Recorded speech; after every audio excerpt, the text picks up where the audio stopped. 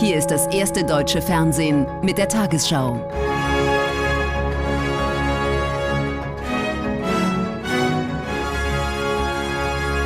Heute im Studio Susanne Daubner. Guten Abend, meine Damen und Herren. Ich begrüße Sie zur Tagesschau. Auch nach dem Bund-Länder-Treffen zur Energiekrise ist unklar, wie die Entlastungen für Haushalte und Unternehmen genau aussehen. Die Gespräche gestern im Kanzleramt blieben ohne Ergebnis. Mehrere unionsgeführte Länder gaben dafür der Bundesregierung die Schuld. Die Ampel müsse endlich sagen, wie die Milliardenhilfen konkret eingesetzt werden sollen. Die Zeit dränge. Finanzminister Lindner entgegnete, zunächst müssten die Eckdaten für die Strom- und Gaspreisbremse und die Steuerschätzung vorliegen. Der Gesprächsbedarf war offenbar groß gestern beim Treffen von Bund und Ländern im Kanzleramt. Als konstruktiv beschreiben Teilnehmer die Stimmung. Trotzdem geht man am Ende ohne Einigung auseinander. Das ist eine große Enttäuschung. Es dauert alles viel zu lange.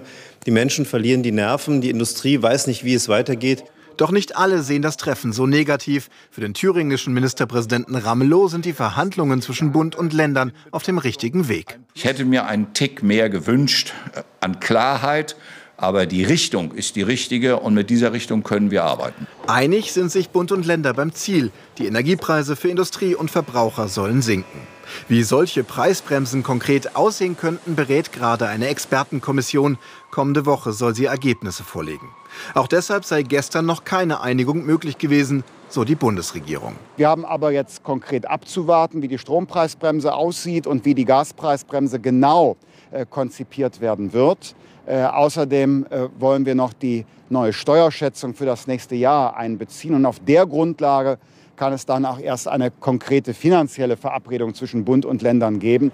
Es geht darum, wie die Krisenkosten verteilt werden. Die Länder fordern mehr Geld vom Bund für einen Nachfolger des erfolgreichen 9-Euro-Tickets. Außerdem wollen sie, dass der Bund die Kosten für das höhere Wohngeld übernimmt, die bisher zwischen Bund und Ländern geteilt werden. Auch die Kommunen machen Druck. In den kommenden Tagen brauche es Ergebnisse. Ich will gerne noch eine Woche warten, wenn es dann stimmt, wenn der Schuss sitzt am Ende des Tages. Ähm, denn es darf nicht noch mal schief gehen mit der Gasumlage. Das war schon ein, ein Theater, was keiner braucht. Ob es so schnell geht, ist aber unklar. Das nächste Treffen der Ministerpräsidentinnen und Ministerpräsidenten ist am 21. Oktober in Hannover. Einig ist sich die Ampelkoalition nun offenbar bei der Stabilisierung der Netzentgelte. Um Haushalte und Industrie bei den Stromkosten zu entlasten, will der Bund knapp 13 Milliarden Euro einsetzen, bestätigte Wirtschaftsminister Habeck am Abend dem ARD Hauptstadtstudio. Mit dem Geld sollen die Gebühren auf aktuellem Stand gehalten werden. Ohne die Hilfen hätten sich die Entgelte möglicherweise verdreifacht. Weiter uneins ist sich die Ampelkoalition über den begrenzten Weiterbetrieb von zwei süddeutschen Atomkraftwerken. Wirtschaftsminister Habeck hatte geplant, sie noch bis maximal Mitte April als Reserve vorzuhalten. Die FDP aber drängt auf längere Laufzeiten. Deshalb hat das Bundeskabinett heute nicht über die gesetzlichen Änderungen beraten. Der Bundestag hatte 2011 den geordneten Ausstieg aus der Hochrisikotechnologie beschlossen reger Austausch zwischen Wirtschafts- und Finanzminister vor der Kabinettssitzung. Aber bei der Abstimmung zwischen beiden Politikern hakt es nach wie vor. Und damit auch zwischen Grünen und FDP. Eigentlich wollte das Kabinett heute den Weiterbetrieb der Atomkraftwerke ISA 2 und wie hier Neckar-Westheim beschließen, bis ins Frühjahr. Um die Stromnetze stabil zu halten, brauche Deutschland die von ihnen produzierte Energie, hatte Habeck als Grund genannt. Doch dann verschwand die Vorlage wieder von der Tagesordnung. Finanzminister Lindner geht sie sowieso nicht weit genug. Ich sage Ihnen voraus, in jedem Fall werden die zwei im nächsten Jahr, das weiß auch jeder, werden die am Netz sein. Aber ich glaube nicht, dass das ausreicht. Wir brauchen mehr. Und in der Frage sind wir schlicht noch nicht einig. Mit dem Kanzler hätten sich die Minister darauf verständigt, die beiden Atomkraftwerke nur bis Mitte April laufen zu lassen, sagen die Grünen. Die Bundesregierung hat sich ja entschieden, alles dafür zu tun, damit wir gut und sicher durch diesen Winter kommen. Dazu gehört auch eine zeitlich eng begrenzte Einsatzreserve für zwei Atomkraftwerke für den Notfall. Das ist jetzt wichtig für die kommenden Monate. Darüber hinausgehende Laufzeitverlängerungen lehnen wir Grünen ab. Doch Lindner legt auf Twitter nach, kann sich vorstellen, zusätzlich zwei bereits abgeschaltete Atomkraftwerke wieder ans Netz zu holen. Die FDP macht Druck, die Grünen verweisen auf den Koalitionsvertrag. Bleibt die Frage, wie lange sich die Ampel die offen ausgetragene Uneinigkeit der beiden Minister noch leisten kann, deren Ressorts zentral dafür sind, um die Energiekrise in den Griff zu bekommen. Die Ölallianz OPEC Plus will ihre Ölproduktion deutlich senken. Von November an werde man pro Tag zwei Millionen Barrel weniger fördern, teilte der Verbund mit. Dadurch soll der zuletzt gefallene Ölpreis mindestens stabilisiert werden. Die OPEC Plus besteht aus 23 Staaten, zu denen auch Russland gehört. Die Allianz hat einen weltweiten Marktanteil von rund 40 Prozent. Die Entscheidung könnte Heizöl und Benzin daher spürbar verteuern. Trotz internationaler Kritik hat Russlands Präsident Putin das Gesetz zur Annexion ukrainischer Gebiete unterzeichnet. Damit stehen die teilweise von Russland besetzten Regionen Cherson, Saporischia, Luhansk und Donetsk künftig unter dem Schutz der Atommacht. Als Reaktion auf die völkerrechtswidrigen Annexionen haben die EU-Staaten ein achtes Sanktionspaket auf den Weg gebracht. Es sieht unter anderem einen Preisdeckel für Ölimporte aus Russland vor.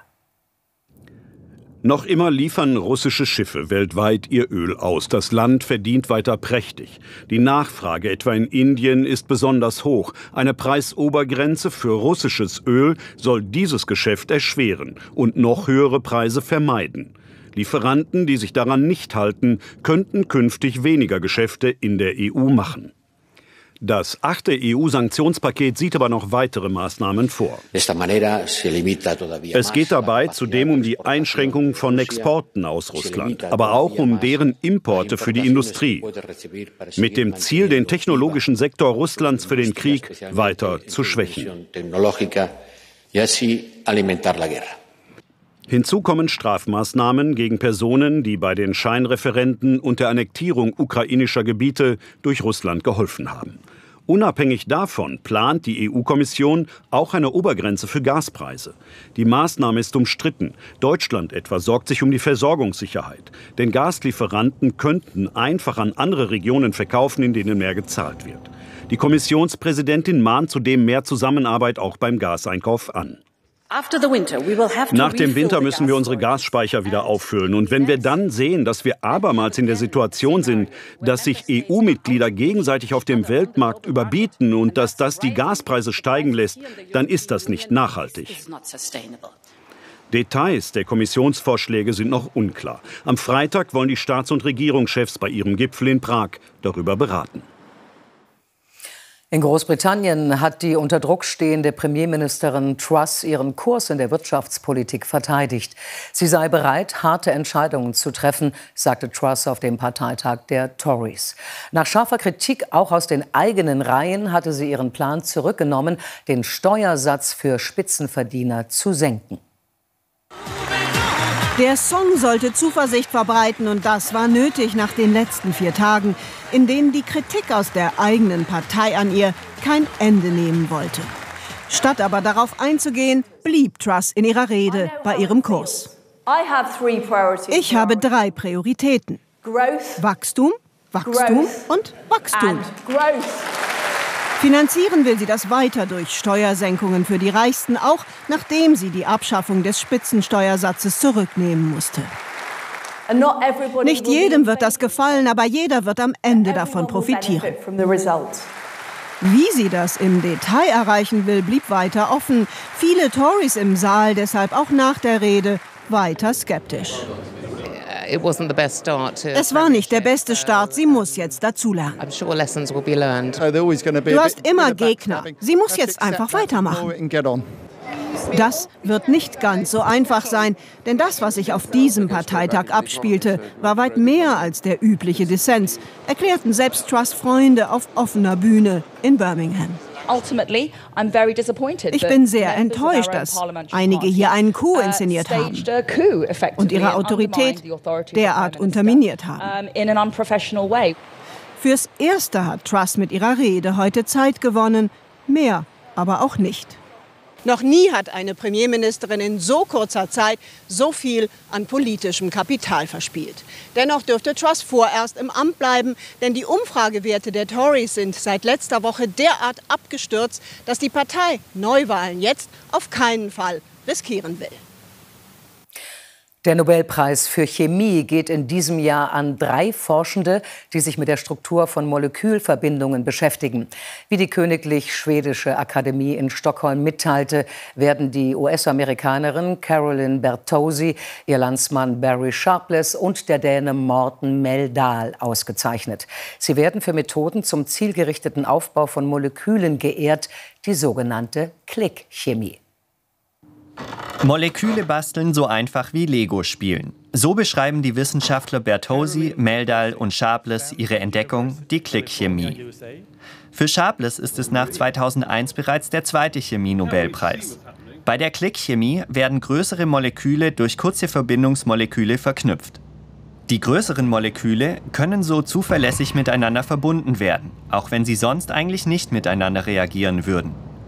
Carolyn Bertozzi entwickelte die Methode weiter, um sie in lebenden Zellen einsetzen zu können, so dass der Organismus nicht gestört wird.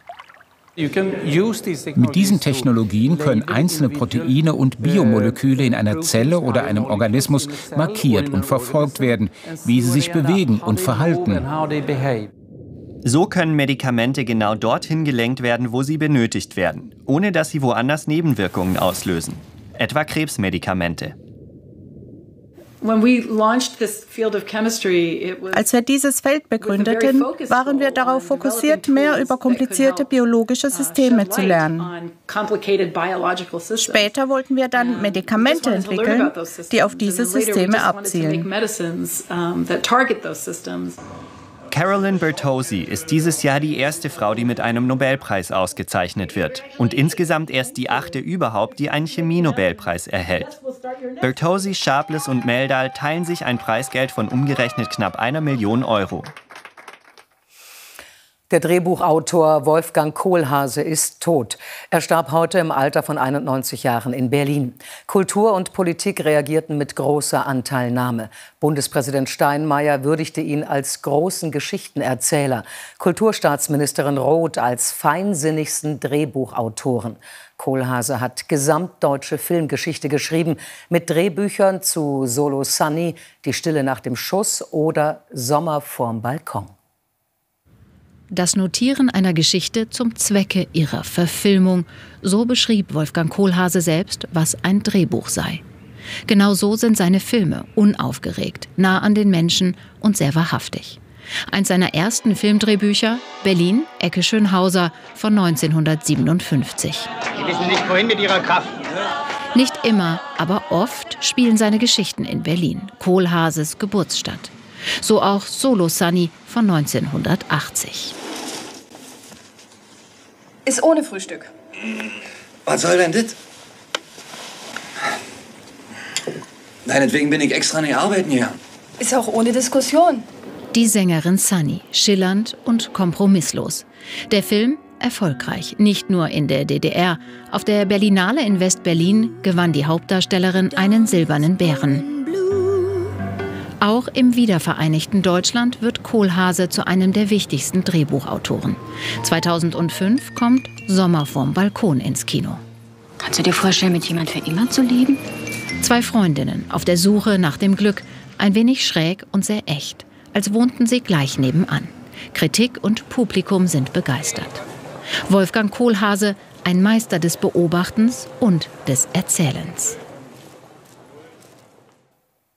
Und den Film Sommer vorm Balkon, zu dem Kohlhase das Drehbuch geschrieben hat, können Sie sich in der ARD Mediathek anschauen. Und jetzt die Lottozahlen.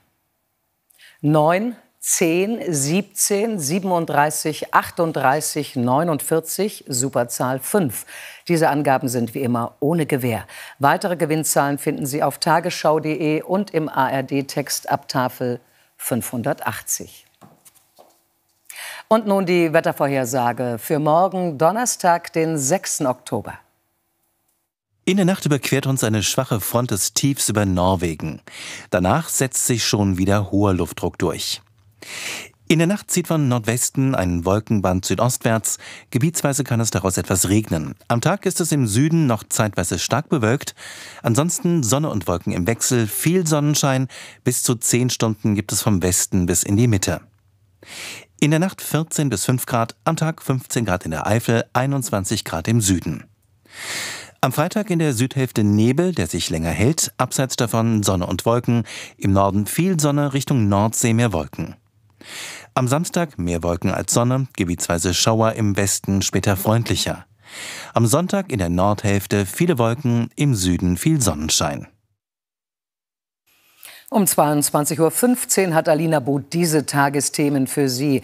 Enttäuscht, was Bürger und Unternehmer von den ergebnislosen Gesprächen der Bund-Länder-Runde halten und verzockt, warum der reichste Mann der Welt nun doch Twitter übernehmen will. Ich wünsche Ihnen einen angenehmen Abend.